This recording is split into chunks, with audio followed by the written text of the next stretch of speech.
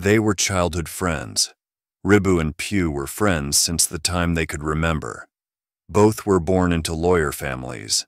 Their families indulged both of them to play and study together, and both went to the same co-ed school. As they grew up, they developed an interest in their family subject, law. Soon they became lawyers themselves and started their own practice under the banner of their family law firm. Now both the families decided that Ribhu and Pew should marry each other. So there was no obstacle and finally they got married and started a new life together. Both Ribhu and Pew were equally ambitious in their fields. Despite being husband and wife, when they had to cross swords in the professional field, then they became fierce fighters. Both had stocked up libraries and bookshelves and would aggressively empower themselves in the tricky nuances of law and jurisprudence when their cases demanded. Neither of them hesitated to take up clients' cases fighting each other. The case hearings were followed by animated debate and logical reasoning. Slowly, their debate and battle of wits became folklore, and curious people gathered to enjoy the ensuing battle. No one would yield even an inch of ground. As both of them were knowledgeable and intelligent, the quality of debate and arguments were superlative. The audience gathered in the courtroom fully enjoyed the proceedings and cheered on till the honorable judge struck the mallet shouting, Order, order.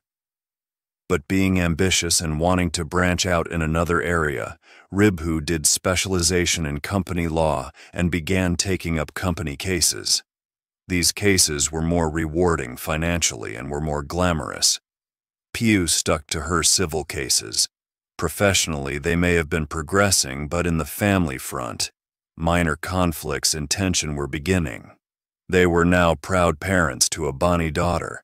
The little child was their darling, and they both adored her to the point of indulgence. But both being super busy, finding quality time to devote to their love was scarce. So the little one spent much of her time with her grandparents and the nannies who looked after her. Pew, being the mother, was more concerned. She used to tell Ribhu to be more dutiful and find time to spend with their daughter. But Ribhu being super busy on one hand and not too much of a doting dad would shirk responsibility. This behavior of Ribhu deeply irked Pew. She began to rankle constantly with Ribhu. Ribhu was not enjoying his fatherhood anymore, although he loved his daughter dearly. Ribhu, being very ambitious, was very focused on his work. Now, as he looked after company cases, he was rarely free or without work. Also, this work of his demanded a lot of reading time, because the complexity of the cases needed constant updation of information, but Pew, being the mother, could not afford to be accused of dereliction of her duty. Although there was no shortage of people in the household to look after her daughter, Pew ensured to devote more time to her daughter even if it came at a cost of her career. But jealousy is an age-old human trait, and the one who is bitten by it becomes a possessed being.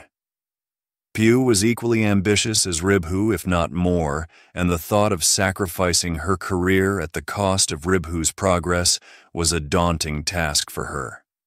She became hell-bent to make Ribhu feel his responsibility towards their daughter and hence devote more time.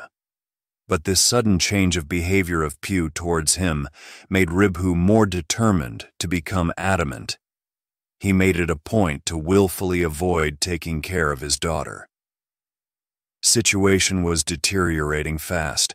The relationship between Ribhu and Pew was now breaking, on the point of being fractured. A lot of strain had accumulated.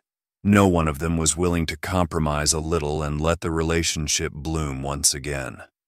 The present situation had made them selfish beyond the point of return. Ribhu was more to blame as his unquenched thirst for success had made him into a monster.